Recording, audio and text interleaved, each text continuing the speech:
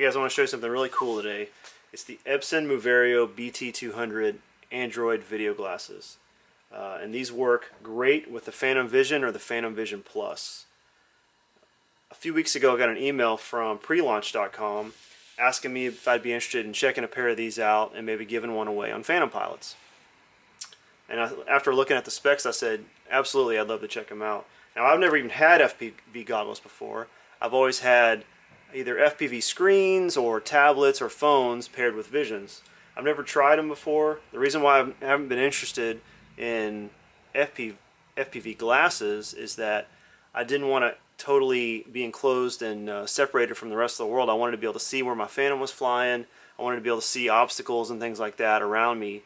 Um, Epson has absolutely answered that problem right here with these glasses. Not only do you get the live image of your Phantom that's pushed through the app, so the live FPV feed, real time, but you also can see around you what's going on. You can look up in the sky and you see a huge widescreen image of your app with the live video, but you can also see your Phantom flying around. It's absolutely incredible. I've been flying it for about a week now. I've been showing it off to my neighbors and friends. Uh, everybody's excited about it. And there's a couple of guys I know that fly Phantoms already said they're ordering these. They're ditching their uh, iPad minis and they're going with the Moverio system. So you get a nice case, uh, absolutely, from Epson.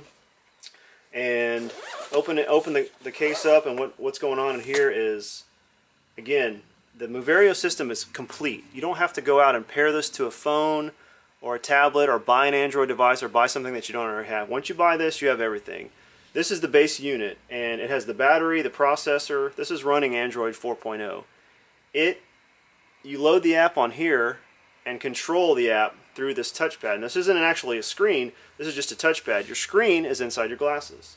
So all you do is you take the glasses out and connect with one connection.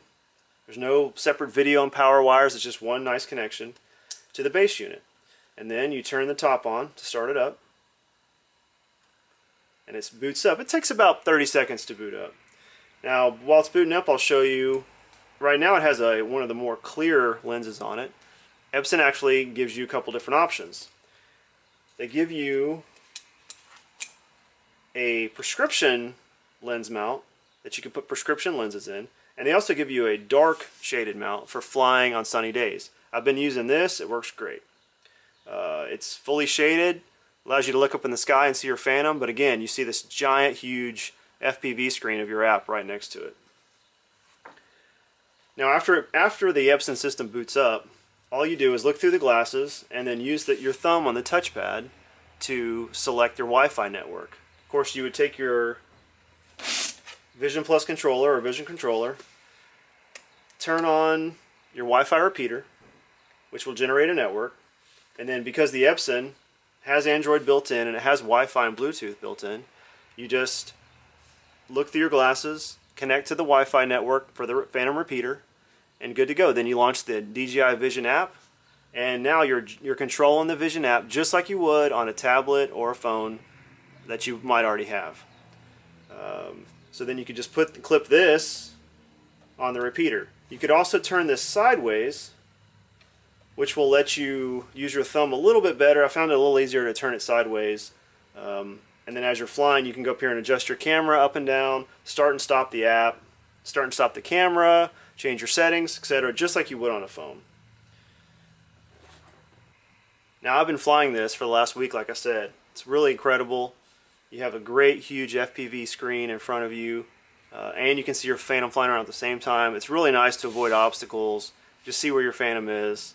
Uh, the resolution is great. It's not true HD, but you wouldn't be able to tell that through the glasses. It looks very sharp, very bright. Even on a sunny day, it's very bright looking up there, and you're getting a big widescreen image. There's only two little screens in the glasses, but when you look at it with both your eyes, you're getting a huge widescreen image that's just floating up in the sky. It really is crazy. It looks like something out of Minority Report or something that's very futuristic. I've showed it off to a lot of people, and everybody's really blown away by the image quality.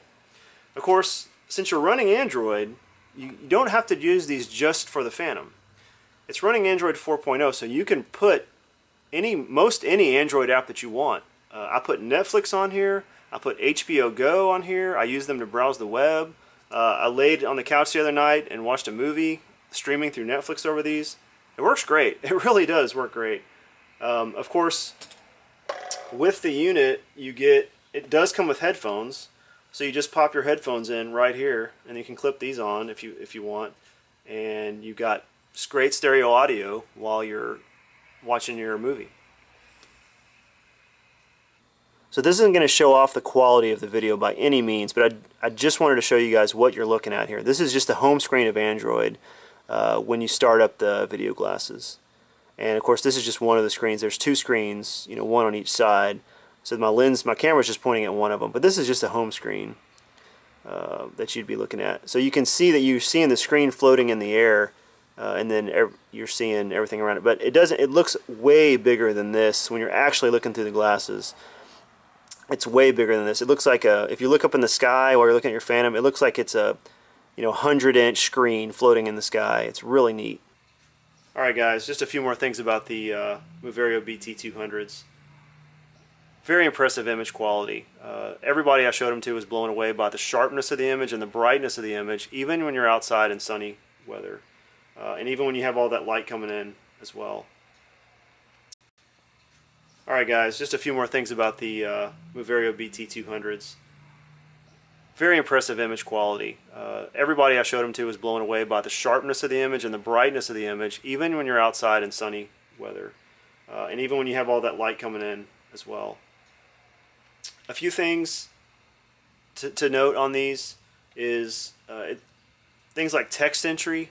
If you're going to use this as you know connecting to your network, putting passwords in, things like that, it's tedious because you're just using a touchpad and entering in the characters one at a time. Not, you don't actually have the use of a real keyboard uh, to use, and I don't know that there's a way to hook that up. Um, another thing is the Google Play Store. I wasn't able to put the Google Play Store on there to buy apps for it. Now, I'm not an Android expert, so there may be a way to do that through some kind of hacking, but I didn't see an easy way to do that. To get the DJI Vision app, you have to sideload it. It's not that hard of a process. Uh, it just took me a few minutes to figure that out, but you do have to sideload that app. Uh, other things that are cool is Epson is developed. This has head tracking built in. So Epson is encouraging developers out there to use an API to uh, see things that could work for this in the future with head tracking. Now, obviously, what you're you're thinking right now is I want to be able to turn my head back and forth and have my Vision Plus camera move back and forth, up and down. Is that possible? Not today, but we hope so in the future. Uh, I know Epson is probably working with DJI. You got to think they are to uh, to show off this product and say and to get the uh, Android app more in line with the capabilities of this. Um, there's also a camera built in that you can access, takes videos and stills, which is neat, and how they can incorporate that into um, your Vision Plus where you could record videos while you're looking at your Phantom flying around and the onboard camera. Mixing those two together with the app I thought would be a cool possibility as well. Uh, but again, these are really neat. They're a great tool for your Phantom Vision to allow you to see FPV while still seeing your Phantom. Plus, you get all the great benefits of Android, being able to use these. You could use these on an airplane to watch a movie. Uh, it does have a memory card slot, so you can load up your favorite TV shows and movies and uh, watch those as well.